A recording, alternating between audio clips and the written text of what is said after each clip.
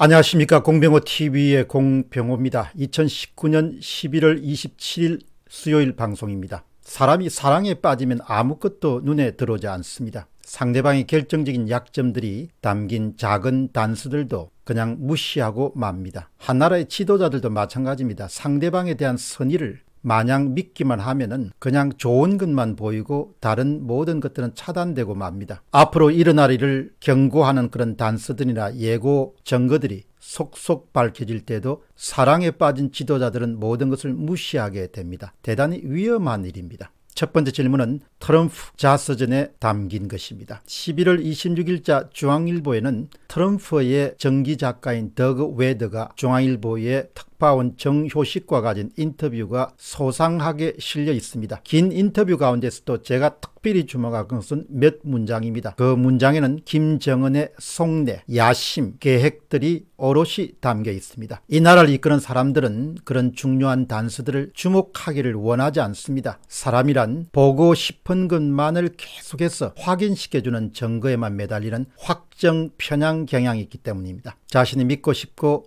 보고 싶고 듣고 싶은 정보만을 찾아 헤매는 존재가 인간입니다. 그러나 이 땅에 사는 한국인들은 지금의 집권층들은 3년이 채 되지 않아서 권력을 내려놓고 무대에서 사라지게 된다는 사실을 잊지 않아야 될 것입니다. 한마디로 정치가들의 말을 믿지 말고 스스로의 자유와 생명과 재산은 물론이고 우리 아버지 세대가 그러했듯이 우리 역시 자식들의 앞날에 가시밭길이 되는 그런 선택을 결코 내려서는 안 됩니다. 2019년 1월 도널드 트럼프 미국 대통령은 백악관을 방문한 김영철 북한 노동당 부위원장으로부터 친서 한 통을 받습니다. 정기 집필을 위해 방문한 작가 더그에게 트럼프는 마치 보물을 보여주듯이 자랑하듯이 그렇게 문건을 꺼냅니다. 인터뷰에 실린 내용은 대단히 중요한 내용을 담고 있습니다. 트럼프 대통령이 작가 오에드에게 이야기합니다. 이걸 본 사람은 아무도 없습니다. 보좌진은 반대했지만 책을 쓰는데 도움이 될 것 같아서 제가 살짝 보여드리겠습니다. 그리고 또 이런 부탁을 더합니다. 저는 당신이 그것을 가질 수 없고 기록하거나 사진을 촬영해서도 안 된다고 신신당부합니다. 가장 중요한 대목은 다음과 같습니다. 웨드는 정효식 특파원에게 또렷하게 설명합니다. 외대의 발언입니다. 김 위원장은 신스에서 트럼프 대통령과 함께 한국 전쟁을 공식적으로 종전하기를 원한다는 열망을 표현했다. 이 부분이 아주 중요합니다. 김 위원장은 한 친스에서 트럼프 대통령과 만나서 종전을 논의할 용의가 있다고 했고 이어 오고 간 서신들에서도 그것이 가능하다는 뜻을 내비쳤다. 워들은 또 이런 설명을 더한다. 몇 통의 친서를 읽어보니 두 사람이 점점 친밀해져 가고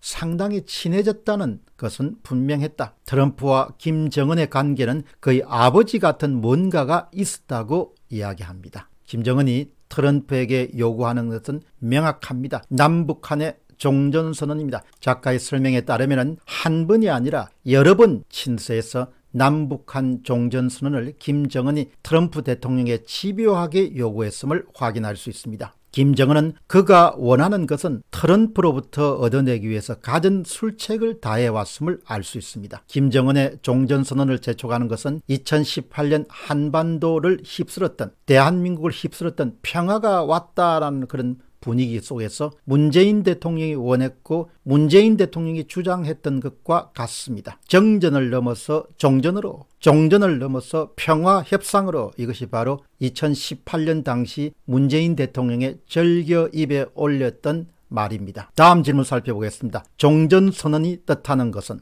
2018년 9월 25일 유엔 총회 참석자 뉴욕을 방문했던 문재인 대통령은 미국 민간 연구기관인 외교협회 CFR에서 열린 위대한 동맹으로 평화를 이란 주제의 행사에서 이렇게 주장했습니다. 문 대통령의 주장입니다. 남북이 추구하는 종전선언은 평화체제로 나아가기 위해 거쳐야 할 과정입니다. 북한의 비핵화 조치를 촉진하기 위해서도 필요합니다. 그는 이런 설명도 더합니다. 종전선언이 유엔군 사령부나 주한미군의 지휘에 영향을 미칠지 모른다는 일각의 우려는 사실이 아닙니다. 종전선언은 평화협정으로 가기 위한 정치적 선언이므로 평화협정이 체결될 때까지 정전 체제가 유지된다고 설명했습니다. 문 대통령이 전적으로 김정은의 종전선언에 협조했음을 알 수가 있습니다. 문 대통령은 같은 날 폭스 뉴스와의 가진 인터뷰에서 이렇게 주장했습니다. 북한의 비핵화에 상응해 종전선언을 할 수도 있고 인도적인 지원을 할 수도 있다. 마지막 질문입니다. 우리는 무엇을 해야 하는가? 김정은은 어떻게든 트럼프 대통령으로부터 종전 선언을 얻어내기 위해서 가진 노력을 해왔음을 확인할 수 있습니다. 문 대통령 역시 북한의 이 같은 노력에 적극적으로 협조해 왔음을 우리가 확인할 수 있습니다. 종전 선언은 결국 주한 미군의 주둔의 불필요성, 주한 미군의 철수와